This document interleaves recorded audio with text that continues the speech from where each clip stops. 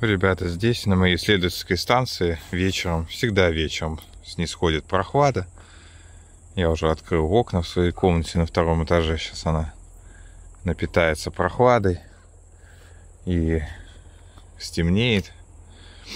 Э, засяду я за свои игры. В Майнкрафт у меня там все двигается. Я теперь построю, строю крепость, туда свезу все добро, которое добыл и буду там заниматься всяческими колдовскими действиями, испытывать все рецепты. Вот, потом надо будет найти деревню, потом надо будет, и, в общем, сделать систему дорог, доделать все. И можно будет уже убирать мирный режим так, чтобы контачить с мобами, так скажем. А вообще, ребят, вот знаешь, говорят же так, что в мире столько интересного, столько возможностей, а ты не можешь встать с кровати, в депрессии лежишь, хренов ты кусок говна. Вот, а черт подери, именно вот это я себе и говорю. Но я при этом говорю это с оговоркой, что вот эти возможности, да, о которых говорят, что столько возможностей, они ведь закрыты от э, большинства из нас. Ты вот так просто этим возможностями не воспользуешься. А у меня есть план, как ими воспользоваться. Но я хочу сказать, что Ребят, я здесь буду просто пионером или одним из пионеров в области того, чтобы воспользоваться широкими возможностями, которые дает нам 21 век. И при этом постараюсь сделать так, чтобы э, зрители моего канала, мои друзья тоже могли этими возможностями воспользоваться. Как, что это за возможность?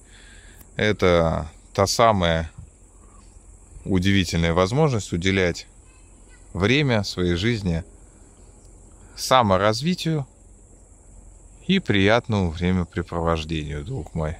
Вот таким образом. А, понятно, что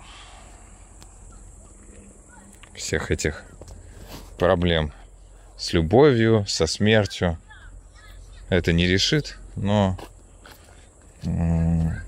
расширение круга знакомств и расширение кругозора, я считаю, абсолютно не повредит никому. Вот. Но и мне не повредит, тебе не повредит. И, в общем, я на это нацелен, и, ну, посмотрим, как это все будет. К чему все это приведет. Понимаешь, я вот не мог предсказать, насколько хорошо будут подниматься мои видео. То, что я говорю на канале, это прекрасно понимается. Просто каждый поворот моей мысли слышен и понимается. Понимаешь? Вон, дети говорят, давайте устроим гонку. Молодцы. Ну, слава богу, что дети всегда дети, они ими остались. Как и в моем детстве, так же, в общем. Вот. И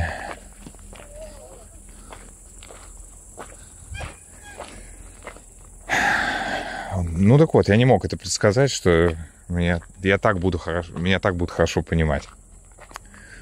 А к чему приведут эти самые мои знакомства со всякими передовыми умами? Вообще, что, как говорят, с интересными, с интересными людьми. Вот с этим всем. Я, я не знаю. Я не могу предсказать. Варианты такие следующие. Что либо, что называется, Ничего я такого не получу, это все будет то же самое. Ничего нового я от них не узнаю. Это будут те же люди, что меня и окружали, потому что меня уже изначально окружают лучшие люди.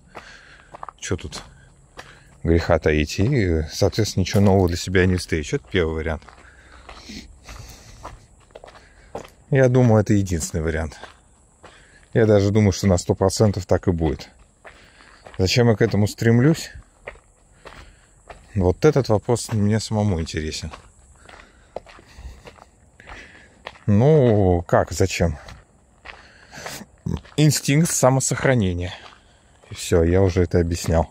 Потому что у меня так устроено сознание и, как любит подшучивать, тонкая душевная организация.